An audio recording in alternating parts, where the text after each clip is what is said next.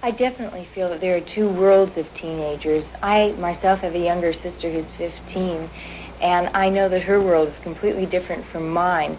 The younger ones seem to be living in a world of tension and, and great anxiety, partly due to the world situation that is existing today. They're in a rush for everything. They start drinking at parties when they're in, in eighth grade. They um, consider sex nothing at all. There is a there is a teenage world. You know, if the adults don't like it, that's only because they don't want to be a part of it.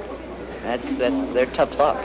It's different. There's always a change going on. You never know what's going to happen next. You never know what new clothes you're going to have. You never know what the new records are going to be. My stack of records keeps getting larger and larger. And all of a sudden, we have a feeling of being a generation and having some sort of bond with every other teenager on the street. Maybe I feel it's different just because I'm in it. I've never experienced another generation.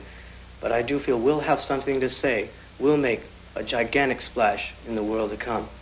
I get scared when I think too far ahead in the future. I don't I don't think of myself when I'm 80. I just can't because when you realize you're going to die, it's the most frightening thing in the world. I know what I'm going to do after I get out of high school. That's all it means to me right now. Well, I don't know, really. just that I want to get as much as I can out of life. I mean, I goof around a lot and get in trouble, but I mean, why not? If you know, you don't know what's going to happen the next day or anything. My parents want me in at 12 o'clock, and they don't like me to hang out at some places like the pub and some places, and I just can't take it. They act like I'm seven years old. You know how parents are. They always bug you where you're going, when you're getting home, who you went with, what time you're going to be back. Don't stay on the phone too long. So what do you do? You try to get out of it. You try to get your own phone. You're going to pay your own bills. All right, fine. Then you get your own car and you're free a little bit, but he's still holding on the rope. Then you wait till you're 18, and that comes the day. Boy, when you get 18, you really get it. They try to decide for us what we should do and what we shouldn't.